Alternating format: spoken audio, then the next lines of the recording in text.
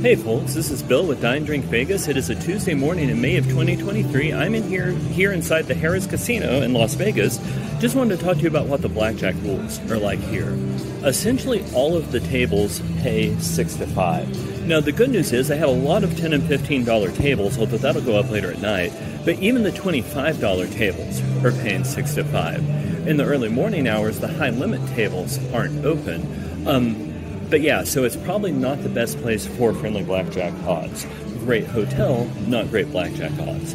Hope this has been helpful to you. If it has, please support the channel by clicking like and subscribe and look for more content coming out on this and other hotels.